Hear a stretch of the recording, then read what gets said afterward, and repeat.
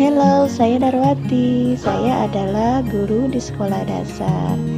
Bentuk pelayanan saya di masa pandemi ini yaitu tetap memberikan pembelajaran kepada peserta didik saya meskipun hanya melalui jaringan.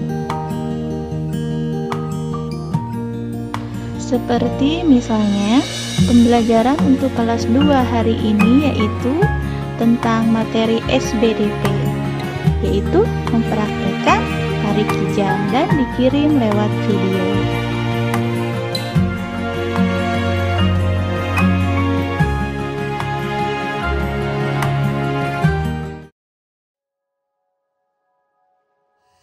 Salah satu bentuk pelayanan publik di Dinas Tenaga Kerja Kabupaten Subang yaitu pendaftaran pelatihan secara online.